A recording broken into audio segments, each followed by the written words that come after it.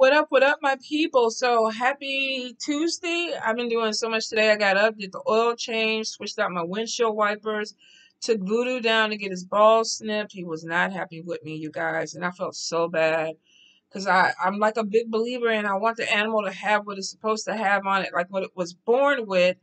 But then you got to be responsible because you know he's outdoors and he likes to you know fight with the other cats and then go around and he might be you know jumping on female kitties and, making babies and we can't do that because you know I can't do kitty cat child support. So I got to be responsible. But oh, he was not happy with me. So we'll see how he is tomorrow or Thursday when I pick him up. Now, we're going to get into the spirit messages. Oh, before we do that, since I finished up um the last of the 2021 like what do you need to know for this year series, I'm going to go ahead and possibly start the monthlies Thursday, but sometime this weekend they should be coming through. So I feel like I'm kind of moving. I'm getting a little momentum going with the readings. So um, just look out for those. They are coming, and you know how it is. I whenever I get to them is when you'll get them. Um, I'm trying to think, is that it? I think that is it. So that's completed with the series, and then monthlies are going to be starting soon. So, spirit messages, you know how we do this. Um, cards one through six could be one card, could be three cards, could be the whole reading. Um, let spirit communicate with you, whatever your God, your guidance that you work with, um, deities, Orisha Loa, whatever the message is. If they tell you a number, pick it. It may resonate with you. It may not resonate with you. Get in where you fit in with it. It's a general read, all right? Let's see. Messages for my people. Thank you, Spirit. All right. One more time, Spirit. What do they need to hear? What is the messages for the people? What's going on with card number two, Spirit? Thank you. Thank you, thank you, thank you. One more time, Spirit. Messages for the people. Okay, we got that flipped over. Oh, we had a few of them flipped over. Interesting. Up. Oh, hold up. All right. I'm not going to take all four of those because I think that tells a story. But let's see. Let's just hold up, you guys. Fly with these cards. All right. Two more cards, Spirit. They're trying to give me a book. And they know I'm not trying to be here all day. Two more cards. Messages for the people. Two more cards, Spirit. Two more cards. Thank you. Thank you. Okay.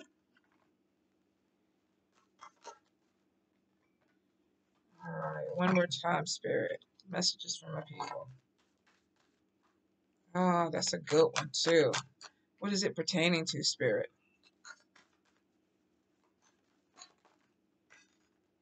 All right, let's see. Confidence, strength. I like that. We're going to end it right there because I think we got everything we needed. Card number six, they're trying to give y'all a book, and we're not doing it today. I'm like, no, we're not doing it. We're going to go with what we have to. I might have to go ahead and clarify card number four, but we'll see when we get there. Card number one. Card number one, let's get into it. We have work conflict, we have jealousy. Woo wee. All right. So let me tell you, I have never done a reading where there was a place where there was no jealousy or envy in a workplace. It, it just it's one of those things. Not too uncommon. Some of you though may be dealing with underlying issues where it's more than one person. Normally with the word conflict card, there could be a lot of people that you may be having issues with right now, and it could be out of jealousy. I keep hearing spirits say, don't talk don't talk your business. Don't put too much out there, especially when you're dealing with a group of people. Some of you may be having issues where you don't even know who to trust because there's so much that's going on. So I will say if there's some pettiness in your circle, if there's some pettiness in your work environment, it's one of those things where it's time to go ahead and start using your discernment, using your your intuition and your spirit. How does this person feel about me? They're not really vibing with me, then maybe I don't need to be vibing with them as hard as I am. Some of you may be coming to the conclusion that people that you thought that you were cool with, could trust, you're not. If you are in an environment where you're something is dependent on you turning in your project or you taking care of things, you make sure that you take care of it because with this energy, you could have people that are trying to sabotage you. They may be coming in and and you know, you take this to the boss or you turn this in for me and then they go in and they do something to it or they put their name on it or whatever. And unfortunately, some of you might be dealing with somebody trying to steal your steam because they want to be in your place. So you may be looking at people and being like, you know what, I don't feel comfortable around you. I kind of feel like I'm getting the vibe that something is not, um, we're not vibing the way that we used to. And I don't want to continue this friendship, this work relationship, or whatever. You may be vocal about it because I feel like some are, and it could be why spirit is like, watch your mouth Watch your mouth. You don't need to tell everybody everything. It's just like the people in the groups where they put that post, um, I'm leaving the group. I don't like the content of the group. This group no longer fits me. And I'm like, okay, who the fuck do they think fixing the what they gonna do? You get a party gift, you get a watch because you leaving the group. You don't like the group, you leave the group, you leave the group silently. Most of the time they don't even know you left. So the whole thing about it is, I think somebody was telling me five people left the group. I, I didn't see five people leave, because I, I, that ain't what I'm looking at. So for some of you, you may be sitting up here and you may be talking about your exit, your plans, or whatever, and people could be gossiping or whatever.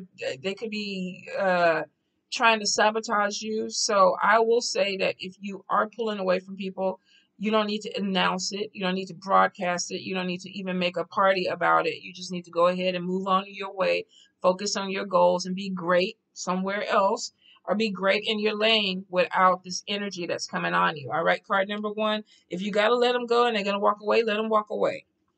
Card number two, we have the psychic and we got to assert yourself. Card number two, some of you are not standing in your power. You could be letting people get over on you. And it's almost like um, you know this. You're very intuitive. So it's not like you need me on here to tell you that people are walking on, on uh, walking over you. Some of you already have this energy you know it. You may be lost at what to do with it, but Spirit is saying that you need to go ahead and start getting ahead of your conflict or your problems. So, if you are very um, gifted, and this doesn't necessarily mean using um, divination tools where you're pulling cards or pendulums and things like that. Sometimes people just know they can pick up on things. The intuitive energy is there where for some of you, you already know this energy. You already see who these people are. You already know what the manipulation is. And spirit is like, put your foot down. For some of you, this could be co-workers. A few of you, this could be friends. And some, this may even be with your family, children, where it's like, I need to go ahead and get ahead of this. I need to figure out what's going on with this person. Or I know that they're trying to manipulate me or play me, so I need to put my foot down. So I will say, you're going to be I feel like this week, some of you may feel challenged. Like I really need to kind of stand up for myself and set boundaries and actually stick with it. I feel like there's the empath energy there where it's like I am wanting to set boundaries, but I'm not being consistent with it, which is like, oh, on Tuesday, we're not going to do this, but then Tuesday comes and you let the person do it, and they're like, mm, yeah, and then next Tuesday, we're going to do it again too, and, and the Tuesday after that. So if you are setting boundaries, you need to make sure that you follow through with it because they're not respecting your boundaries. So this could be people trying to push you to see how far they can go. And some of you, this person may already know that I can, you know, push you a little bit further than what you're comfortable with. So spirit is like, it may be this time to put your foot down. Doesn't mean scream, doesn't mean argue with this person. It just basically means this is the line. And if you cross it, me and you got problems. I'm, I'm not going to play with you. I'm not smiling. It's not funny. If I tell you don't touch my food, don't touch my food. Touch my food again and see what happened. And be and be serious about it. If you got to knock them in the head with a spatula, well, you know what? I shouldn't be promoting violence. But if it was me and I told you not to touch my shit and you touch my shit, you gonna know that you you don't do that again. You're gonna know that. So be really careful that you are not allowing someone to cross your boundaries because you're nice or you're empath or I feel them. They're hurting, they're damaged. I need to come in. Don't touch my shit again. It's time that you learn. It's time that you start to heal. Some of you are going to be with this energy, all right? Now, don't if you if you don't my my kids my people used to be in a pillow thrown at them or a broom you know every now and then i punch jordan in the stomach just to kind of let them know i can still you know I, i'm your mama and I know I'm getting old and everything, but try me because I, you know, and he let me do it. It really don't hurt him or whatever, but he know that's my little thing. So If you don't normally do that with your kids, don't don't do it. If this is not something the way you treat your husband or whatever, don't put your hands on these people. Because you got to train people in a way where they understand your energy and know that you're doing something out of love and not necessarily trying to hurt. Because I'm not promoting any type of abuse or anything like that. And I want to make that clear. So this may be putting your foot down, how you handle it in your household, with your children, with your family members, with your co-workers and things like that. Be mindful. You do not want to go jail behind it, okay? Card number three. Card number three, we got pregnancy, we got body image. Now, of course, we got two different ways we can go with this. We have somebody that literally may be finding out that they are pregnant and their stomach is going to start swelling. Um, I feel that we definitely could have some people that are excited, but with the energy that I'm getting, I feel like somebody's like, I just lost weight or I just had surgery, or I just did something to my body and now this is changing and it's making me feel uncomfortable. Or this could be a woman that literally this is her first child and she's not used to her stomach expanding or her hips or her breast or something going out. If this is a male, this could be somebody where it's like there's some things that are happening in your body that you're not 100% comfortable with. Doesn't necessarily mean um, gaining weight. For some, this could be gaining weight, losing weight, but it may be showing there's something that is happening, new beginnings that are coming in. If this is a male, this could be giving birth to a new idea, putting together some type of business or something, but you feel like I need to be put together to do this to promote it. If this is a woman who's not having any children or whatever, this could be body modification. Or either you could just be putting your best foot forward. So some of you are going to have some new beginnings. Definitely with a baby or a business that could be coming in. For some, it looks like there may be some type of modifications that are coming in. You may be looking at tummy tucks. You could be um, getting breast augmentation. Um, you could be doing something with your BBL, whatever it is, there's some type of modification that's coming in. And for some of you, there's this energy of this is a new beginning for me. This is this is the new me. You know, I've got new cha-chas, new tatas, new whatever.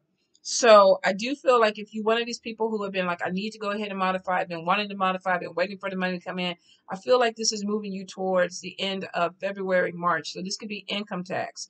Some of you might be trying to pull your money together and get this going on. All right. Card number four. Card number four, we got a person who could be coming in. Male or female, though, be careful that this person is not a player or playette. This could be somebody that is like really smooth they might be fine as hell. They might come in and, and make your heart go beep, beep, beep, or a flutter, flutter, flutter, whatever it is. You could be connecting with a new person. And let me be nosy. Let's look and see if we got any guidance with this person, Spirit. Let's see. Oh, hold up. Use this deck. Card number four. Can we clarify who this male or female is? Card Number four, clarify spirit. Oh, god damn it. They look like they could be cute and fine, but I'm getting somebody who may be a cheater. We got a cheating man or a cheating woman, and then that is uncommitted. So you may have somebody who's coming in and gives you these good vibes, but they may have some issues where they're not completely faithful. So I would say card number four if you're meeting someone and you're all we're adults. I mean if you just want the booty you know go get the booty. Ain't nobody gonna be looking at you. Don't nobody need to know your business if you don't talk it. Don't put it out there. Enjoy it for what it is but don't get your heart involved because this person may not be completely um, open to a commitment. They may be coming in and saying you know what? I like you. There's a connection. The chemistry is there. Let's do what we do.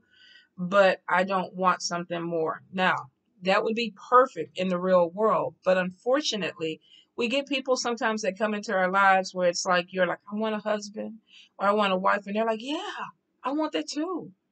I want a big house with a white picket fence and, you know, the kids. And the person is like, yeah, I want that too. No, they don't.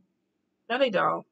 So be careful that you're not getting somebody that's doing a lot of talking because sometimes when people date, they listen to what you say and that gives them the opening of how to get to you. If you say, "Oh, you know, I like chihuahuas," oh, I love chihuahuas. You know, I grew up and I had three or four chihuahuas. People kind of they can figure out, they can read you by what you say, body language, words you use, things that you even on social media. I know a lot of people that stalk people on social media and get to know them and then when they go on a date it's like, "Oh, I know your favorite color. I know your favorite kid. I know what food you like to eat because we play all these dumb ass games on Facebook, you know, that give people a lot of information about us that we don't realize that we're putting out there. Some of you could be dealing with someone that is literally playing their, I guess, playing up to what you want because they're trying to get something out of it. This person could already be in a relationship or involved. They could even be married. Um, if not, be careful that you're not really falling or moving too quickly for somebody that is really not reciprocating or giving you what you need. And that would be a one sided relationship where you're putting in a lot of energy with someone, but they're not reciprocating it. They're talking and they're talking, but they're not following through with the plans. I want to be with you. I want to travel with you. I want to build a house with you. I want to marry you. But you're in 15 years in the game and this person is still uncommitted and it's because they have other options or they they're giving themselves other options. So male or female if it doesn't feel right if you feel like this person is coming in and they're wishy-washy you know they disappear they pop back in you know what you doing how you doing? I had to take a little break and now i'm back. You could be dealing with somebody that is kind of playing with other options around them. So nothing wrong with playing with this person but if you're a person who falls in love really easily or your heart is on your sleeve you might not want to get involved with this energy if you cannot process it. All right. Ooh, card number five, we got divorce separation, and I wonder if it has anything to do with this person coming in. Maybe you were in a relationship, maybe this is the person in a relationship. Could be a lack of commitment, could be somebody that's trying to step out, or it could be somebody stepping out on their partner with you. I will say, card number five, this is endings. This is something not working out maybe the way you wanted it, whether this ends up being a separation with a friend or being a separation with somebody you're dating or being an end of a marriage. Um, some of you may be feeling a little bit fed up, like I don't want to deal with this energy, or I don't like what you're doing anymore, or I just don't even want to play with this game with you anymore. Some of you are coming to the end of a cycle. For a few of you, Spirit is saying something with a job, so you could be walking away from something because maybe there's a falling out with a coworker or a supervisor, because I still get that energy. Some of you may have even worked with somebody or got involved with someone where there was some cheating or something that's going on. I'm getting something that was supposed to be secret that comes out that causes this. So, for a few of you, if you are having some type of affair or you're dealing with someone that comes and goes and they only call you at certain times or they only come by and visit you at certain times, a few of you may be finding out that this person is in another relationship. Now, I will say if you have somebody that's saying, I'm going to get divorced, I'm going to get divorced, I'm going to get divorced, I will say there's an ending coming, but whenever I see this card, the scissors aren't cutting the paper all the way through. So this could be this energy of something not being 100% finished you know, they can still go back and take that up and be like, look, you know, let's give this another chance. So until you get the final paperwork, the person is not divorced. And sometimes, even when you do get the final paperwork, the person is not over that relationship. So if you're dealing with someone that is coming in and saying, oh, I'm going through a divorce, I'm going to end it, don't get caught up too quick in that energy that they're going to come and marry you or be with you because I'm getting somebody, it's like I'm free. Whether this is a male or a female, I'm coming out of something, I'm free, now I can date other people. And that could be why they're uncommitted because it's like now they have other options. They're not attached to anybody legally. Whether this is a male or female, be careful with your heart. All right, card number six. Card number six, we have spirit protection. We have the strength card. And then we have a woman that is confident. Now, this could be somebody who is very strong. They're feeling very um, accomplished. This is somebody who's getting their groove back, whether you're male or female. Maybe you're starting to feel a little bit more um, grounded. Maybe you're feeling a little bit like you got a little pep in your step. Something's making you feel like, yes, rock with me. You know, you got that easy flow. Yes, life is not so hard right now. I kind of feel like I could dip a little bit with it and then just go back in and rock with it. You know, maybe I'm going to do a two step and then go back in and rock with it because your flow is in.